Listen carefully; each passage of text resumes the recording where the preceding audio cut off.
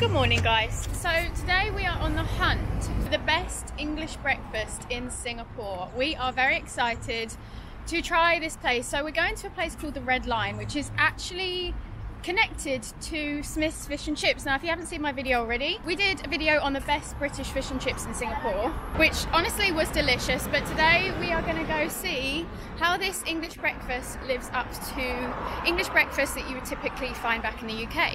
So I think to British people, a proper English breakfast, we also call it a fry up because generally the food is mainly all fried. It's very, very greasy and you would go to a cafe that you may call a greasy spoon. Typically in Singapore, English breakfast you would be able to find at brunch places, which is usually quite bougie and more fancy than an English breakfast would typically be back in the UK. So we're gonna go check it out now. Let's see if it lives up to the hype.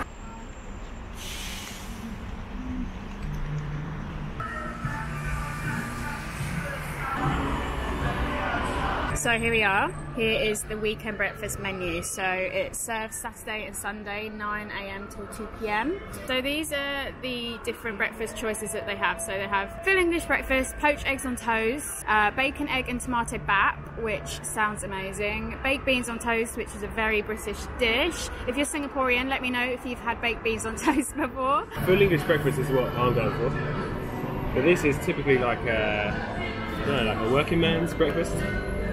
So if you're a builder or you're working on construction sites, typically you would meet up with the guys or girls and go for a full English breakfast before you start the day.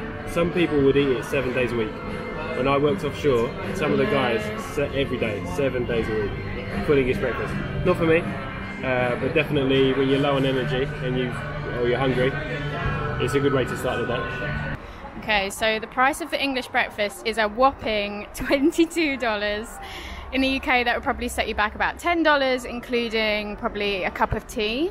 So it's about double the price here, um, but that's what you get for exotic British food in Singapore. Yeah, they have a really nice selection. They also have omelets. They have English crumpets. If you guys have never tried crumpets, you should definitely come here and try it. It's best served with butter and marmite, I think. But yeah, like I said, I think we're going to go ahead and get the English breakfast. Yeah. You get one as well? Yeah, I'm going to get one. We've just seen the price of the baked beans on toast. yeah, I do beans on toast. Uh, beans on toast, I love it. Um, but it's like a poor families. It's like a poor, poor slash working class family. Yeah meal that you would feed your kids beans on toast. One dollar for a tin of beans, one dollar for a loaf of bread, but here it's $12. $12 for one portion. right, Justin's gone for builder's tea, which just is basically an English breakfast tea with milk, of course. A tea is not complete without a milk, I'm afraid, guys. How much did that cost? $3.50. $3.50 for a cup of tea. Okay, here it is. We waited a very long time for this. we were waiting nearly an hour, so we are absolutely starving.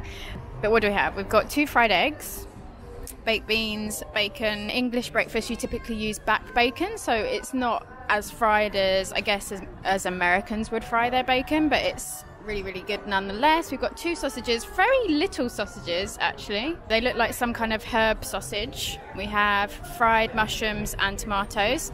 Chips, which isn't always typically served on an English breakfast, is it? But sometimes you do get it, especially in like greasy spoon places.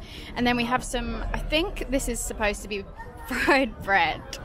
In Singapore, I don't know what it is, but the toast is never really toast toasted, so it's more like bread. It's not toast toast. But this does look delicious, so we're going to go ahead and tuck in now, and I'll let you know how it tastes. Let's talk condiments for your English breakfast. Ketchup always, nice the brown sauce, don't you? This one, yeah. HP sauce, chili sauce is a no. No.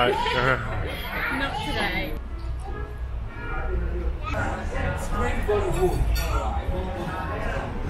What are your thoughts so far? Nice. Very nice. I like the chips with it actually. I, the chips give it a little something extra. If you're ever gonna eat an English breakfast, the best drink to have to complement your English breakfast is an orange juice. And I mean fresh orange juice. For some reason, there is no better way to wash down your greasy breakfast than with an orange juice, trust me. So these sausages are actually really delicious. Probably one of the highlights of this breakfast. They've got um, like a really lovely herb flavour filling. I think they're really delicious. Doesn't look like you like that very much. Oh, starving. Oh, yeah, I like the beans. Many, many beans. You didn't like the sausages? I thought they were really nice.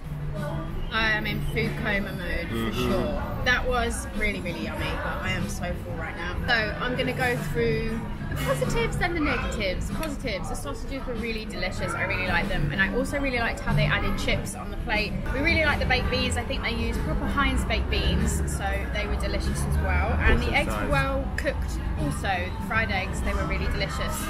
Portion size as well was really, really big a nice big portion for $22 you would hope so anyway. Things they could improve on quite disappointed about the fried bread. It definitely wasn't fried bread.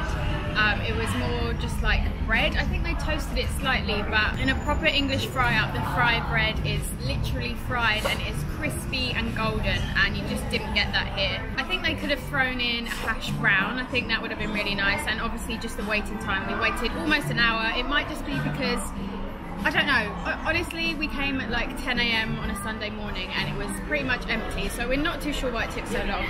But do we think it's worth the price? I think it's probably the most authentic Yeah. English breakfast that we've had in Singapore so far. So for if you're looking for like a bit something a bit more authentic and not so much a brunch style, um, you should definitely come and check this one out. Alright guys, so I'm going to wrap the video up here. Be sure to give it a big thumbs up if you enjoyed it.